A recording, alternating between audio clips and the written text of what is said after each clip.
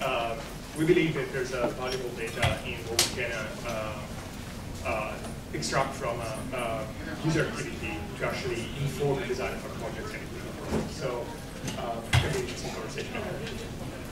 Um, this is the overview. So I'm going to give the rationale of uh, why we did this tool and where this is coming from uh, maybe some background about what we need you know, to get the uh, design of this tool and what the main use cases that we focused on.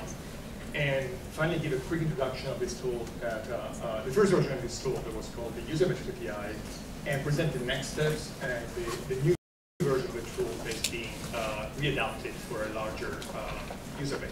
And that's, that's the uh, Wikimetrics project that uh, LiAnna will help me demo towards the end of this, of this talk.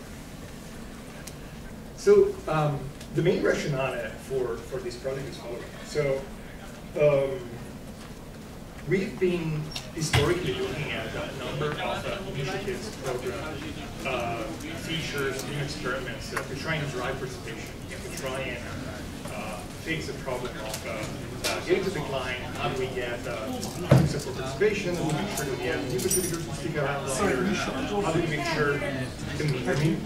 Thank you. Okay. Um, all right.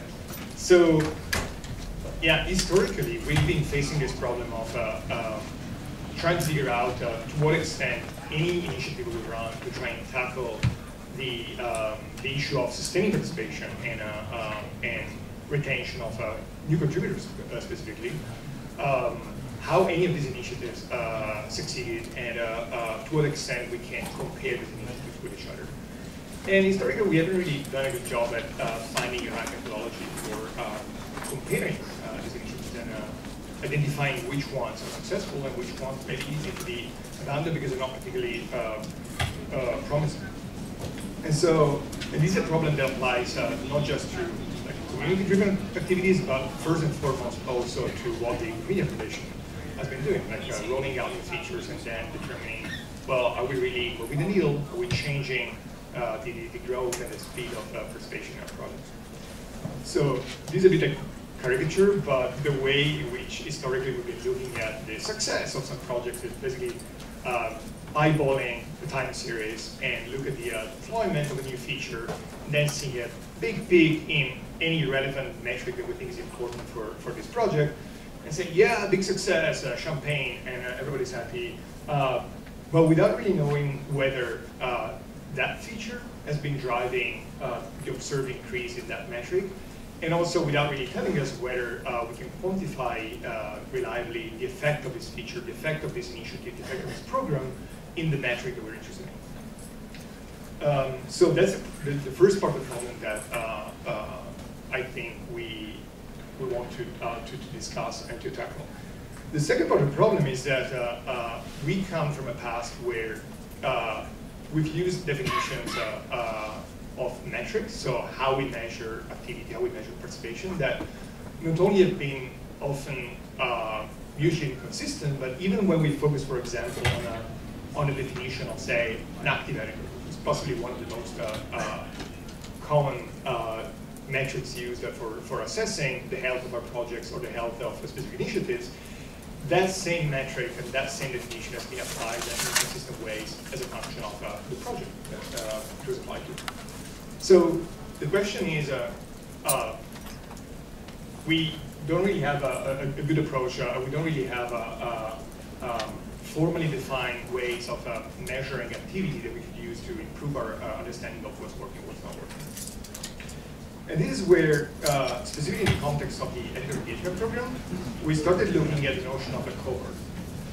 Um, and we started thinking, well, instead of looking at project level changes that may not tell us much about what's happening uh, as a result of a new feature or as a, as a result of a new initiative, why don't we focus instead of a group of users sharing uh, some attributes? Uh, so a group of users sharing the same characteristic, where a characteristic might be, well, having participated in the same experiment, having participated in the same uh, initiative, uh, being part of specific uh, sub-community of our editor base. And so shifting the focus from project level to cohort level uh, is the, the first uh, uh answer that we, uh, we, we try to focus on. And the second part of the answer uh, was to try and, and redefine what we consider as metrics that we can use to, to assess and to measure the activity of new editors. So this is an example of work that uh, um, mostly uh, Aaron uh, focused on in the context of a, um, a review of uh, uh, activity participation metrics that we led uh, about a year ago. And this work resulted in a pretty detailed assessment of different ways of measuring the volume, the quality, the diversity of editor behavior and editor activity and the purpose of this exercise was really to try and distill some, uh, some recipes about uh, quantitative indicators that we can use uh, to measure, again, the effects of specific initiatives. And so, what if we were to imagine a tool that allowed us to put these ideas into practice and actually support uh, our routine, uh, our routine work of measuring uh, the effects of this, uh, these initiatives. So imagine we could define a cohort uh, of users as a, an arbitrary list of editors uh, sharing a mutual attribute. So for example, this could be participants in an experimental condition in A-B test that the foundation or uh, someone else is running, students enrolled in a global education course, uh, members of a specific wiki project, new editors reaching a specific threshold of activity in the first month since registration, users register mobile devices that we may have reason to think behave differently from uh, users registered on desktop devices. Participants in an hackathon or in a, a community-driven initiative and so on.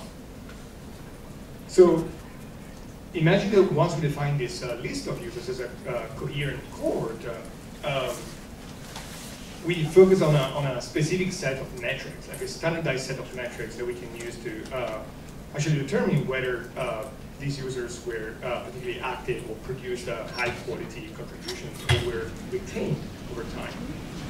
And this based on a formally defined uh, metrics whose meaning uh, is uh, formally defined and uh, transparent.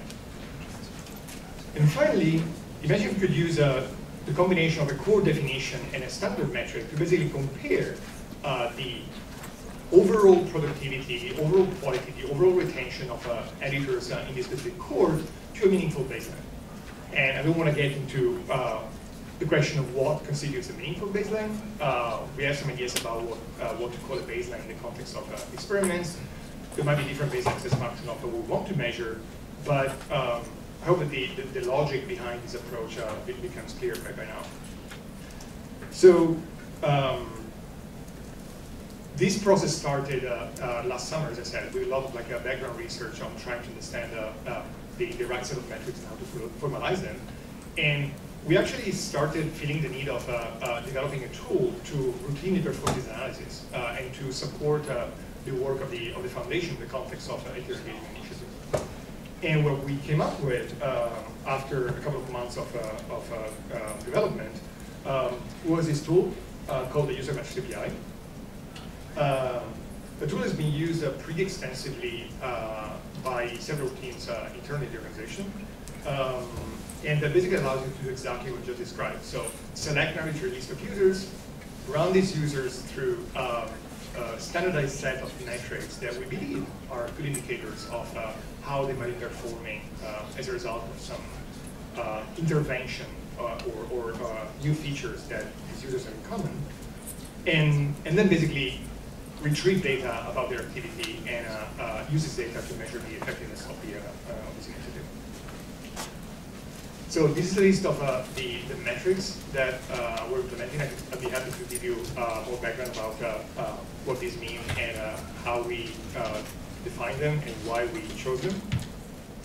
Um, but the, the basic idea is that user metrics is a tool that initially uh, was designed for, for purely internal purposes. And we figured that this could turn into an API that uh, would allow us uh, to extend access to this functionality also to external parties, community members, uh, researchers might be interested in, uh, in analyzing and extracting these metrics for arbitrarily defined list of users and editors.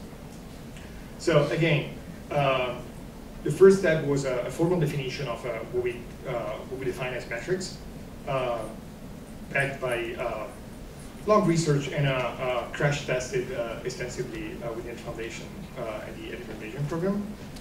Support cohorts from a variety of projects, so not just English Wikipedia, but build a tool that is project agnostic and language agnostic, uh, so that uh, we could look at, uh, say, the same, for example, the same group of users or editors um, across different languages of, of Wikipedia, across different projects, etc. Um, us to perform a, fast extraction of uh, metrics that may be computationally intensive to extract, for example, uh, reverts or uh, operations that may require uh, basically uh, a heavy access on our uh, databases or our DOMs. Um, and finally, you have the ability of returning not just individual responses, I'll give you in a moment an example of how how this works, but also aggregate data uh, at cohort level uh, and uh, time series data that allow us to monitor, for example, how a specific cohort is behaving over time. And finally, the design decision was to try and make this uh, metrics engine and API uh, as accessible as possible so that uh, if the community or researchers or uh, WMF staffers feel the need of introducing new metrics or adding new parameters to these metrics, the, the tool is designed in such a way that we allow this accessibility. So this is a quick uh, overview of the of the output um, of uh, what we call like a, a raw request. So um, what you see here is basically a cohort. There is a uh, yeah, it's a cohort of three users. Uh, so three users are listed uh, below with the user IDs as defined in a specific project. And this specific uh, metric determines what we call the, the, threshold metric. And the threshold metric determines whether each of these users uh, hit a specific number of edits uh, within a given amount of time since registration. Now, this is a metric that we use extensively in the context of user engagement because we focus mostly on the idea of, uh, well, checking whether we could uh, take uh, uh new new users just registered on on say the English Wikipedia and turn them into editors. So not just remain silent, but start contributing to the project. And so basically what this metric does is that it selects this cohort of three users, it specifies some parameters. So for example, we can specify which project uh, these users are uh, defined in, um, what namespaces we're looking at, how much time we're looking at since the registration of these, uh, these new users, and uh, uh, what is the number of edits that we want to consider as a threshold for activity. And what the, the API returns is basically um, an easy, high-level um, representation of these users with respect to the, uh, threshold metric. So you'll see we have zeros or one as a function of whether these users have hit or not the, uh, um, the threshold. So the one threshold within 24 hours since registration in the main namespace. So this is a raw response, um, meaning that we have a one, one result or a vector of result for each individual user. But we can also use the API to retrieve uh, an aggregate result. So again, take the entire cohort, take the individual responses for all these users, and return a single statistic that uh, is meaningful to consider. So in this case, given the fact that uh, individual responses are booleans, so true or false, return a proportion. So how many users in the cohort uh, are ones? And finally, there's a third type of response, which is what we call time series, um, uh, time series segregation. And basically what this does is that it allows you to break down a cohort uh, either by date of, or time of registration or by date or time of activity. So imagine again, you're not returning like a single value, a single statistic for the entire cohort, in proportion where you break this down by the date uh, in which these users registered, or by the date in which these users were active. And you can have total flexibility on the on the range to which you apply this uh, uh, segregation or the slices. So you can be looking at uh, daily, weekly, monthly aggregates, etc. So this is where we are um, in terms of uh, internal development. And at some point, uh, uh, this tool uh, caught the attention of uh, program evaluation. And there was a decision to try and see whether we could redesign a tool to make it actually more accessible, more usable to external parties. And we started um, to work on a new version of the tool um, called Wikimetrics for a variety of reasons. The main reason is that this, in principle, could be applied to other sets of metrics, so not just user-level metrics, but also article-level metrics or project-level metrics. Um, and there's been a, uh, a lot of work uh, that went into the, uh, the, design of this new version. In terms of functionality, uh, the, the new version uh, is still very preliminary, so it doesn't provide yet the, uh, the extensive functionality of version 1 of user metrics. But it's mostly focusing on a uh, improving the usability. So uh, as uh, LiAnna would be able to witness, uh, the first uh, version was mostly focused on providing you with the data, not necessarily making it easy for you to uh, construct these complex reports or manipulate the parameters.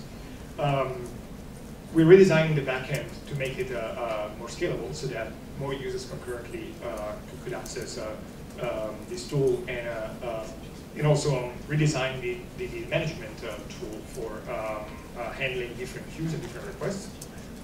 Introducing access control and user authentication so that uh, we can uh, allow for private data, um, like for example, defining groups of users that uh, uh, you may not want to disclose publicly. So for example, members, of participants in, a, in, a, in editathon or participants in a given outreach event the, the idea that you might be disclosing the fact that the users uh, or uh, these editors were attending a specific event uh, is something that also is very sensitive. So we're building access control and uh, uh, user authentication precisely to uh, take care of these delicate issues of um, privacy related to affiliation.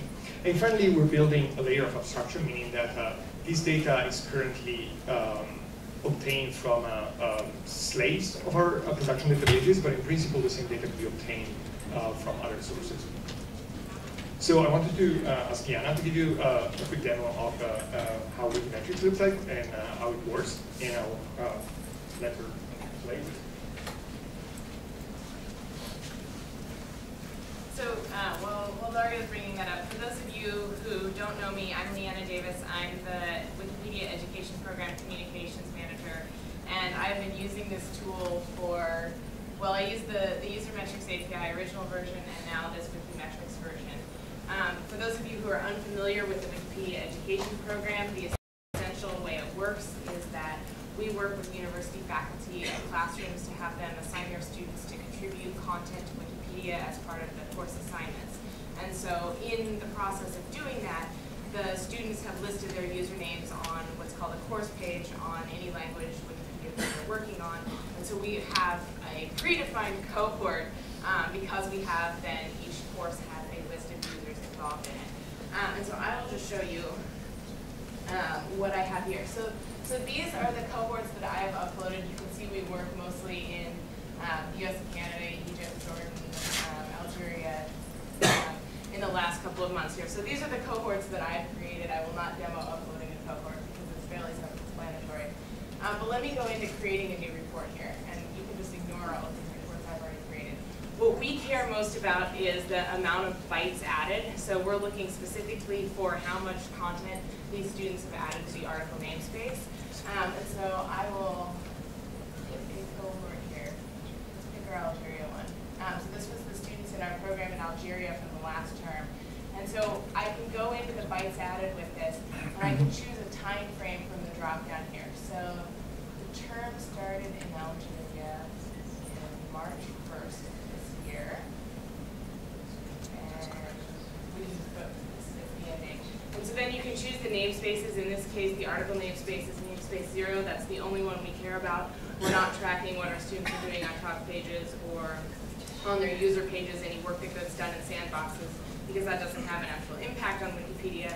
So we just are looking at what they're actually doing to the content of Wikipedia. So we only care about article namespace zero in this case. Um, and I'm going to uncheck these boxes. this is whether they reverted content or not. Could you look at the talk page namespace if you wanted to? Yes, yes, I assume so. Anyway, I've never, I've never looked, but I assume you could. Um, What and was the question, sorry? What? Could you repeat the question that was asked? Could you look at the talk page, you wanted to? Yeah. And so then I'm just going to run this report. And it is pending here. So it will refresh.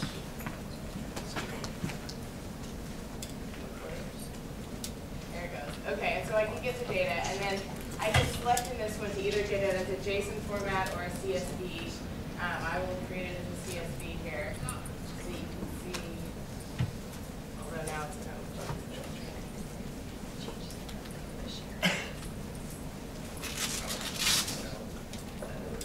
Okay, Yeah. well, we'll just, okay, we'll just allow it. So, so you can see here, whoops, sorry. Okay, so you can see in this case that it's given us the sum of all of the bytes added by this, these students. So that's one point five million bytes, for example. Um, you can also do it instead of being at the sort of sum total level, you can do it at the individual user level if you're interested in getting data on um, what each user has contributed as well. So that's sort of the basic run through of how it works. So um, to wrap up, uh, uh, so as I said, uh, uh, we're working on porting all the existing functionality from version one, Aka user metrics, to the new version, uh, and we'd like to get you involved. So uh, if you're interested in uh, building new metrics, you're interested in uh, uh, well familiarizing yourself with the code base, uh, if you're interested in why we're doing this, if you have concerns about uh, privacy, about the sense of this data, please come and talk to us. The um, the end user documentation for version one is available on uh, on So if you look up um, you'll be able to uh, to find it, and that covers like a pretty extensive description of the functionality of version one. And the code base uh, is available in our uh, Git repositories on, Get, on Gerrit and uh, Git Gerrit and synced on GitHub, so you can check out the code uh, and let us know if you'd like to participate. Thank you. If you have any questions, I'd be happy to answer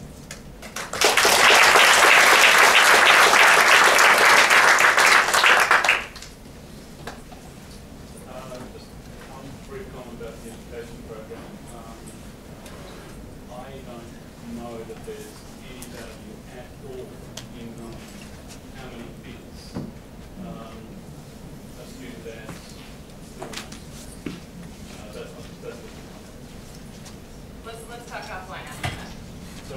Let's, let's talk about that after, because I want to focus questions on the so, on the program. Um, also, the previous speaker for, for you pointed out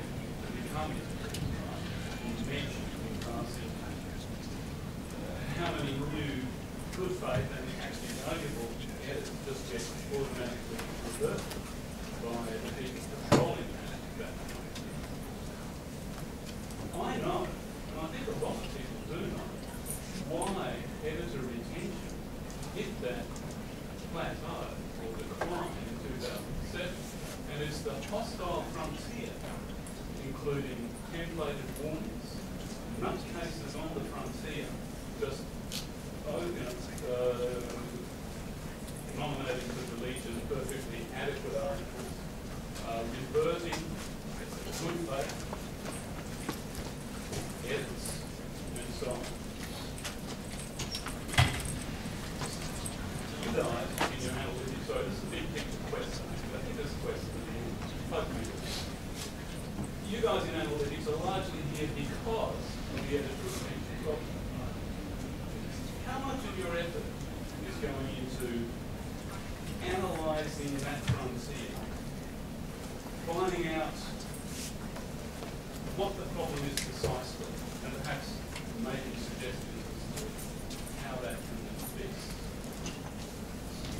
So, um, yeah, I was going to question about uh, the tool, but it sounds like you're making a question about uh, I'm the really overall asking a strategy question, to a tackle. bigger question than what you're presenting. I see. But you're the last speaker in this, this bracket. And it's about So- analytics. I, yeah, I'd be happy to continue afterwards discussing this, uh, this. There's a number of strategies we're using in the organization. There's also like an improvement. There's a number of initiatives that we want to uh, support and evaluate. Uh, I think you're totally right in your assessment of what, co- what is currently causing the burnout for the contributors. We have uh, research and evidence uh, of how negative messages and readers uh, are uh, affecting the contributors. Uh, um, the question is, how do we tackle that problem? I'm really asking, are you analysing? Is there, are are you guys doing what the previous speaker, uh, he pointed to some studies, but I think it was an academic study, not a WMF study, on how many people unfairly get referred. Sure, so let let me quickly, I mean, we can continue this for hours, but I want to say that uh, uh, we're currently focusing on uh, actionable research that we at the foundation can actually intervene on. So uh, at the moment, there's a ton of research, fantastic research from the scholarly community about, uh, you know, how specific messages, how specific community dynamics are affecting the users. Unfortunately, at the foundation, we cannot uh, go and tell uh, tens of thousands of users to change uh, from one day to another the way in which they relate to. So we make software changes. Um, and this is what we're, this is what we're currently, this is what we're currently can can we continue the conversation more. Dario, to quickly follow up on your question, I think the foundation did do its research on a particular topic back in 2011 we did similar research.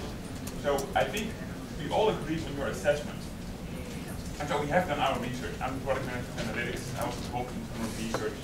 As Dario said, the question is really now, how do we tackle that problem? How are we going to change the software to address those issues? So, very, answer your question, is, if the question is, did you analyze this problem? And the answer is yes, we have done that quite extensively, and we keep monitoring it as well. You know, I'm, I'm not convinced that, you know, our editor numbers stopped in two thousand seven because all of a community became nasty.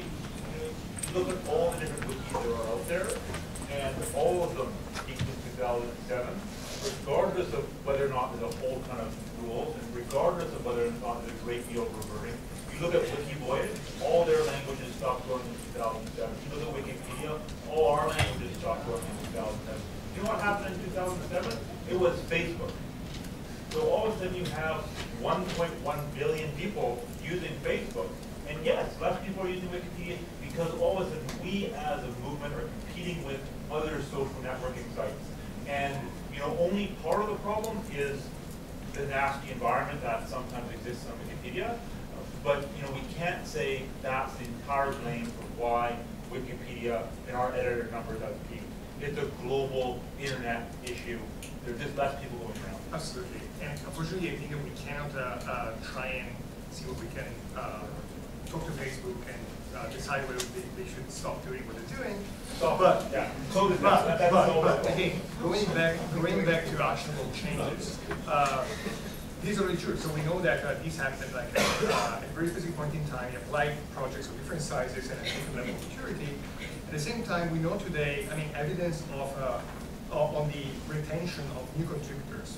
I mean, there's there's a very solid evidence of what's happening today when you join Wikipedia, regardless of what's happening. So I think this is a problem that we can tackle, that we need to tackle. And another example is uh, uh, if you look at the uh, meta spaces, so those spaces on which policy discussion and meta level uh, conversation happens, we know, because again, there's evidence, there's evidence that uh, these spaces are completely saturated by the old guard of existing uh, editors who've been around since 2006. So these are the issues. I mean, if you don't create spaces for new contributors to be involved in discussions, in policy making, in policy unmaking, uh, uh, we're not going to be able to uh, tackle the specific part of the project we can act on. Uh, I'm not going to say this is going to be able to uh, reverse the general trends of the web, but uh, this is something we can, uh, we can try to understand. Uh, Yes, for this. yes, but, uh, Okay. There's number of statistics of uh, view that giving the more information about the quality of subject in uh, program in Brazil, in Canada. Yeah, so two things. Currently, we don't have uh, uh, any alpha level metrics implemented. The focus of this was really on uh, user metrics. Uh, and there's a consensus literature about uh, uh, quality, ways of measuring, quality indicators, the quality of an article or the quality of an article. Um, we do think, in fact, that uh, we can use uh, uh, paper grades, block grades to also get the uh, quality of the product. In my presentation, I understand you say concentrate about the amount. All That's correct, yeah. So this is purely based on uh, uh, quantitative indicators of uh, activity and quality. So these, those proxies of quality we can extract from uh, quantitative metrics, but it's not more than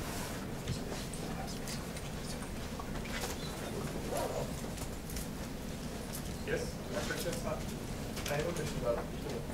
Uh, so, uh, okay, uh, I want to know if the, if there are plans or something to think about doing sure. simply to replace these two components. Because there now it seems like basic data, which is still very raw, but very often, uh, one thing it sounds like is useful in editor engagement processes is to have like a control group or something to just, right? And some way of identifying that and then testing to see, you know, even if I have to do it myself, just testing to see if there are differences.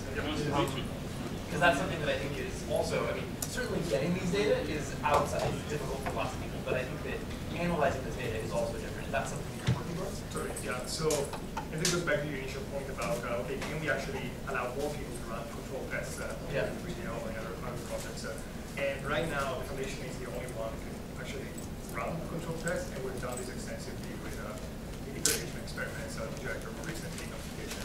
Uh, and so we consume this data, uh, to actually, uh, well, some analysis.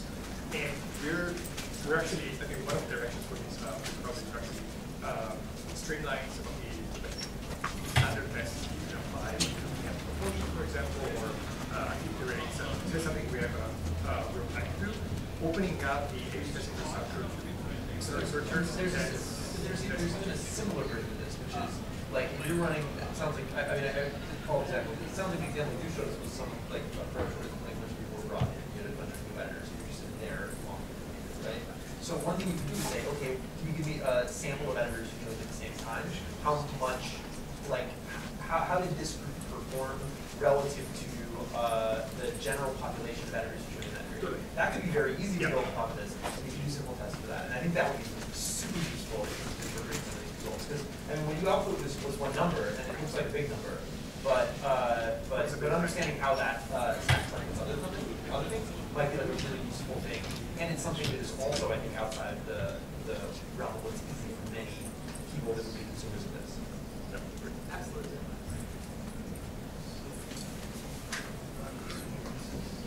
the time is up, but it's, it's up to individual to stay in this group. Thanks.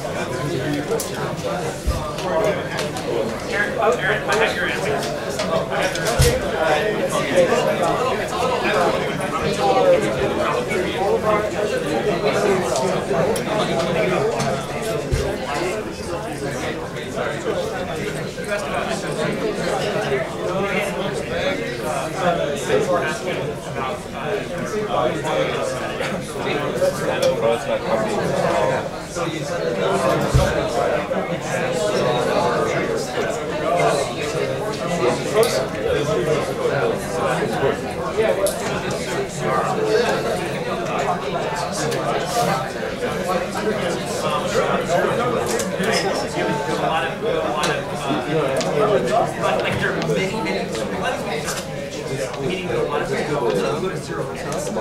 Lots of people.